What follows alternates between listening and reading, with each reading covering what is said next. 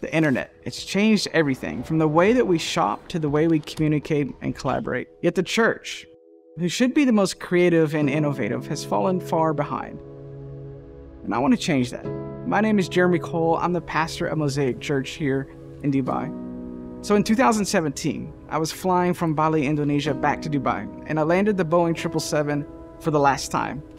God was calling me from my 20 year career as an airline pilot to become a pastor.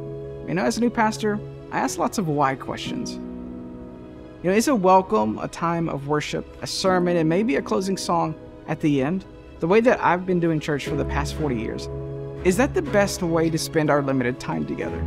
And what I found was a clear no. According to the latest data from the Barna Research Group, 50% of Christians are tired of the normal church experience.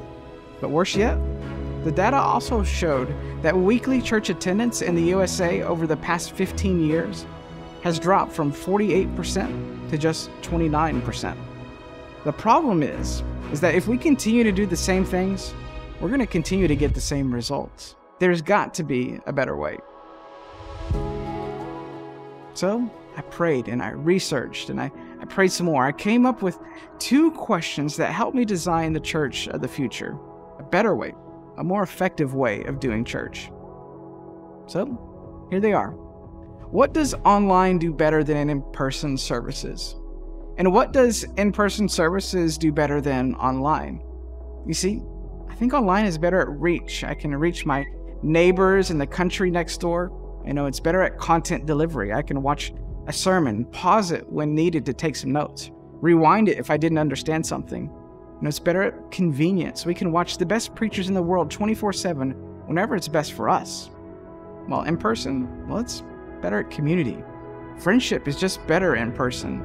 Uh, worship is better in person. You know, there's something special about being in the same room with Christians singing together. It kind of it creates this feeling that you don't get online. You know, it's better at praying together. When someone comes and puts their hand on my shoulder and prays for me, it's you know, it's better in person. So I decided if online is better at this and in person is better at that, why don't we design our Sunday services around these ideas, the way that they're just naturally designed? So for the past 15 months, we've been testing out these ideas with great success. We essentially we've reduced our sermon time from 40 minutes to 20 minutes, again, because you can get the best preachers in the world whenever you want. And with those 20 minutes that we saved, we do more of the things that in person is just naturally better at.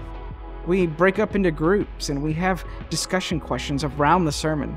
Uh, we break up into groups and we, we pray for each other. Uh, we do an extended time of worship and communion.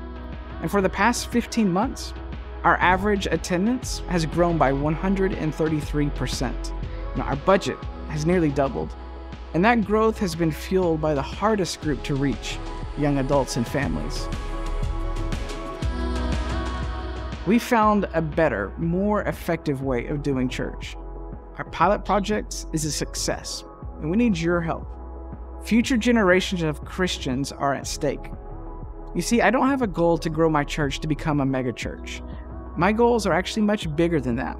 I want to create a clear, scalable, and effective model of church that every single small to medium sized church in the world can use to make a difference in their community for God. The future is bright, and together we can change the world. God bless.